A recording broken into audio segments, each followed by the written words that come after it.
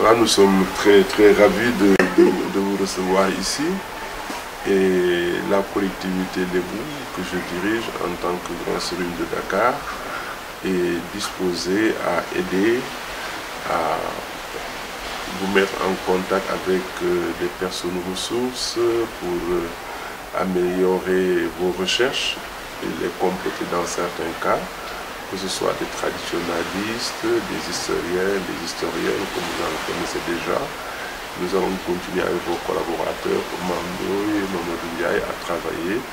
Et c'est volontiers que j'accepte le parrainage de ce film très important pour nous, pour la solidarité humaine par la connaissance des uns et des autres.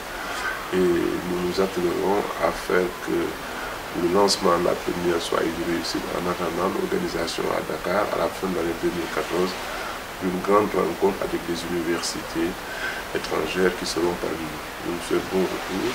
À bientôt.